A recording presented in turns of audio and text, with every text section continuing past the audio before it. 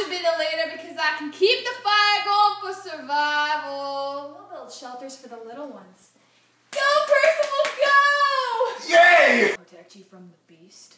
Oh. If you vote for me, all your wildest dreams will come true.